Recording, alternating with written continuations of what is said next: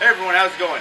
So like I mentioned in my last video, I was going to be doing a couple vids uh, just, just kind of focusing in on the final details of a carving. So for this one I'll be roughing out an eagle real quick and then we'll just jump into different styles and techniques for finishing uh, certain areas and different patterns that we can create using different tools. So I'll go ahead and rough them out and then uh, we'll just kind of work our way from the top down. Let's get carving.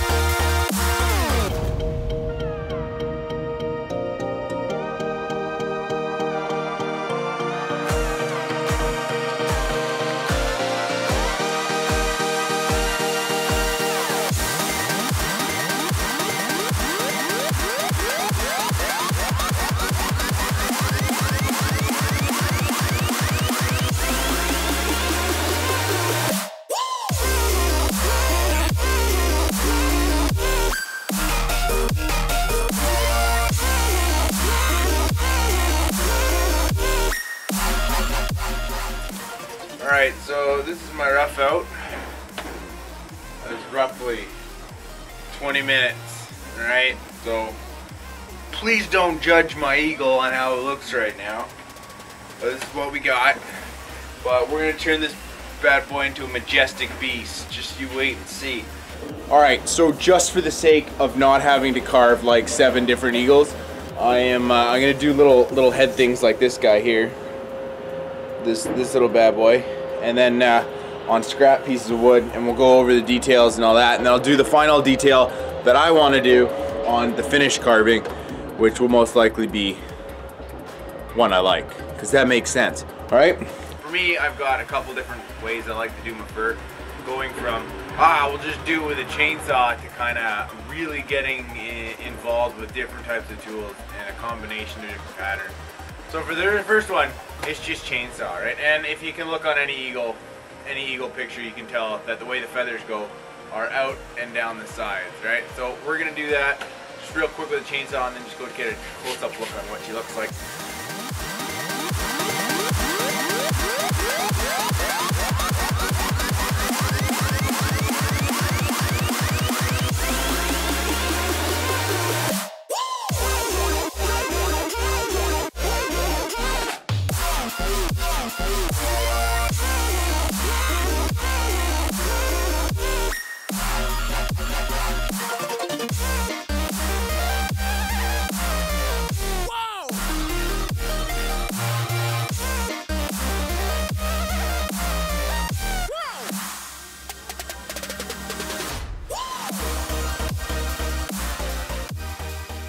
So this is essentially the first style of uh, finishing or putting a level of detail into the head. As you can see, it's just it's just a bunch of gouges, right? And uh, for someone who who's just getting into carving, this is a great way to do feathers on uh, on the eagle's head. Just in the sense that it is relatively easy, and I guess it's it's not really forgiving once you're down in an area like here trying to put the feathers underneath the eye because if you make a mistake you go through the beak. But it is it is one way of doing it. Now we're actually going to come back to this carving because this is the first step in like a three step process on on doing a different style of feathers. But uh, for the most part I mean that's it right? You just just doing a bunch of chainsaw gouges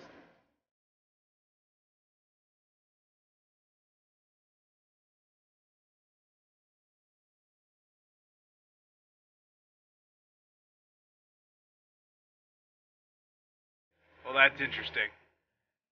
So for this guy, we're going to be using the half inch green saber ball. The way the uh, the way the feather pattern, but we're going to use the ball to create little divots, alright?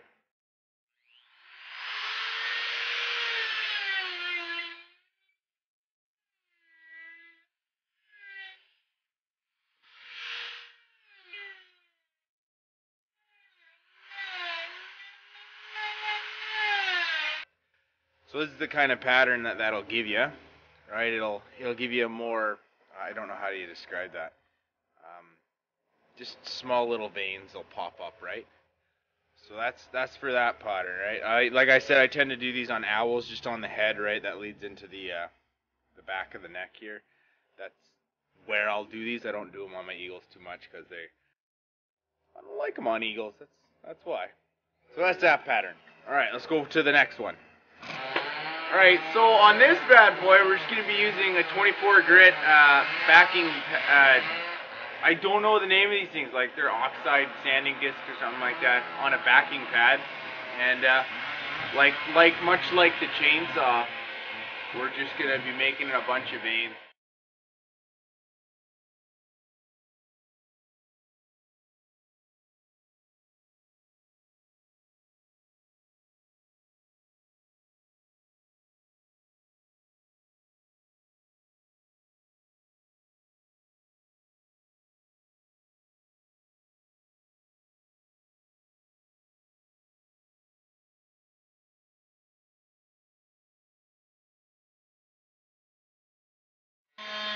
So albeit this being a very simple way of, of carving uh, feathers, you can see how that turned out.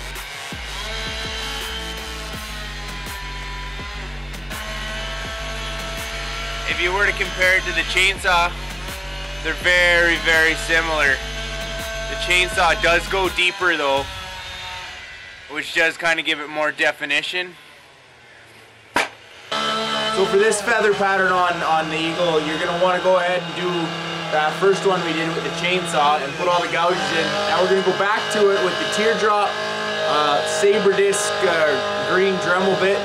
We're going to go over the chainsaw lines and then we're going to go with the teardrop green saber bit for the Dremel and add more lines in between those lines in a sense. And it's going to give it um, just it's the more lines there are, it means the more detail there is in a sense. So I'm to do that real quick and just kind of show you what that looks like.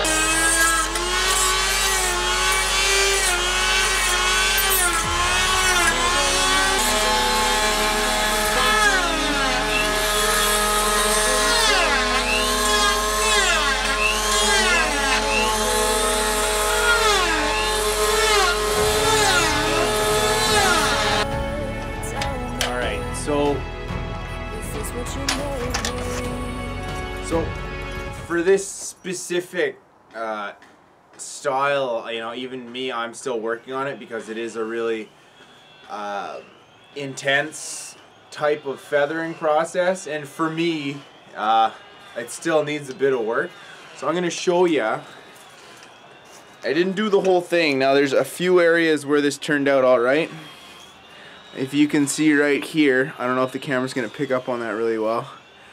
Just there's a whole bunch of there you got your main veins and then I go across those main veins with the Dremel and it gives them these weird it's hard I don't know if you can see these little these guys right here this is a perfect example. Now arbor now this is the pattern I'm gonna use on the eagle behind me. So I'm gonna pop that bad boy up here and I'm gonna do that real quick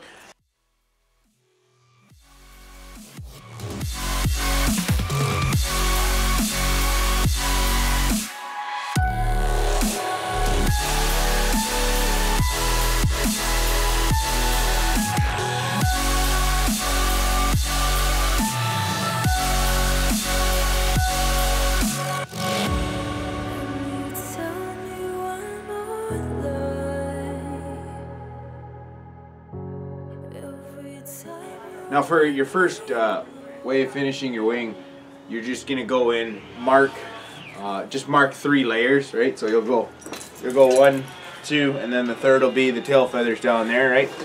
And then you're just gonna draw a bunch of scribbles up here, a couple lines in there, and a couple lines in there. And that, that's, the, that's your basic way of doing it, right? And you can do this one with the grinder or the chainsaw just for the sake of uh, not having to do it three times. I'm just gonna do it with the chainsaw right quick to give you a quick gander how that goes.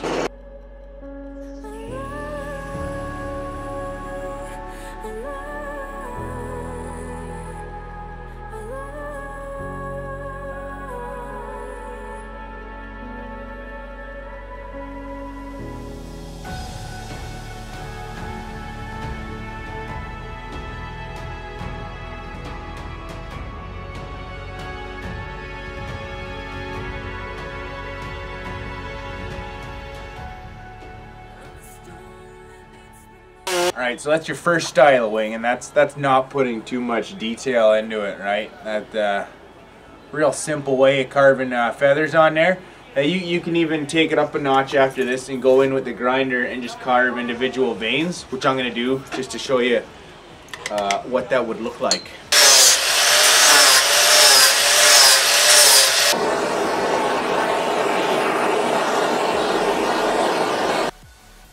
Alright, so this is your first style wing, right? So we've just gone, done. Uh, it's really quick, and I mean it looks good for the most part. And uh, you got your little lines there done with the grinder. Alright, so for the second technique, right, we're gonna we're just gonna do a bunch of little scribbles on there, right, to kind of give it that je ne sais quoi.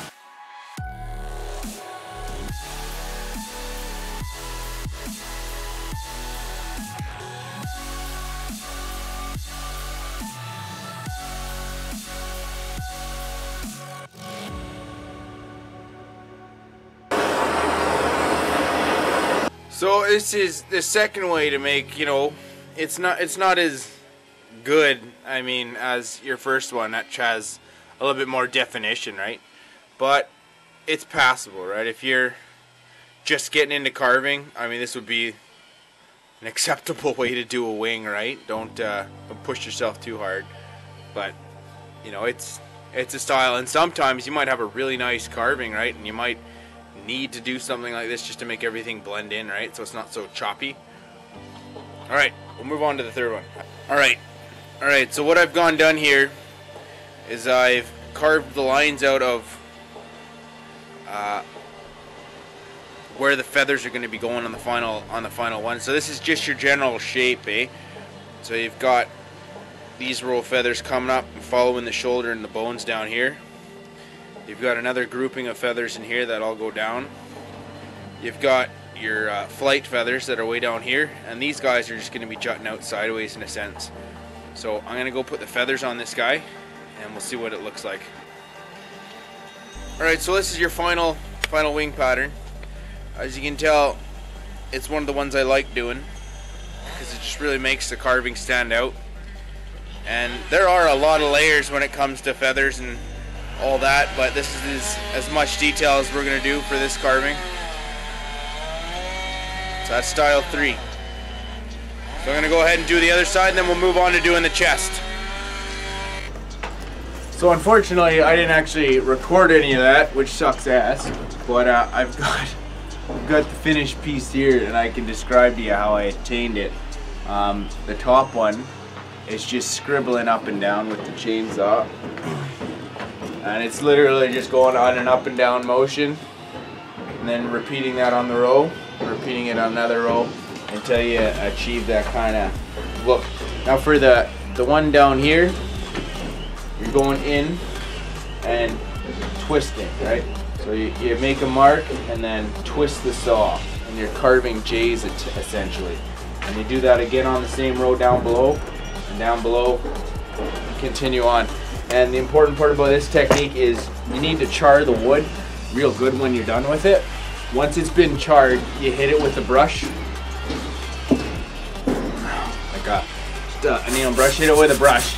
And it'll leave the carving nice and smooth and give you those nice jutting feather looks. Now I'm gonna do this on the actual carving so you get to see this one again, but pretty sure if we're all amateur carvings, we know this technique and we've all done it before, right? Okay.